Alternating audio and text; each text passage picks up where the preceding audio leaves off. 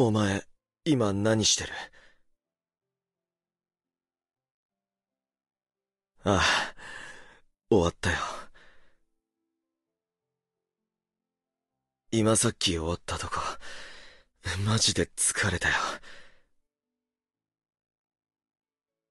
だいぶ待たせただろ。いい加減お前も待ちきれねえだろうからな。だから、急いでかけたんだよ。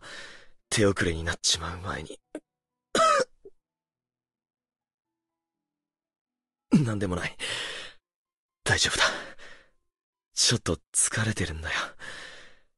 急に眠気が来た。バカ言うなよ。そんな機密情報教えられるわけねえだろ。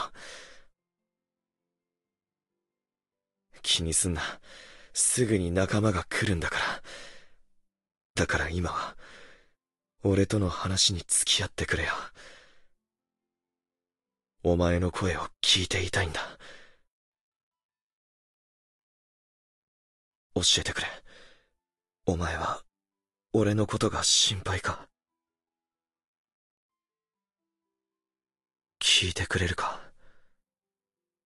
いや、今のは忘れてくれ。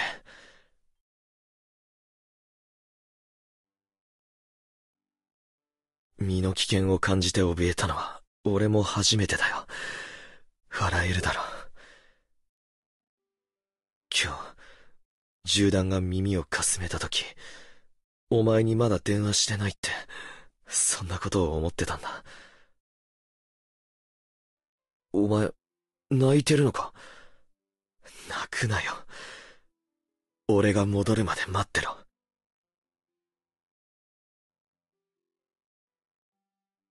戻ったら、雪の湖に連れてってやる。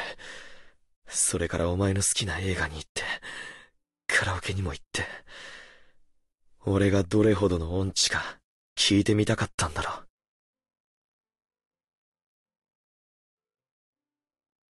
やっと笑ってくれたな。電話してよかった。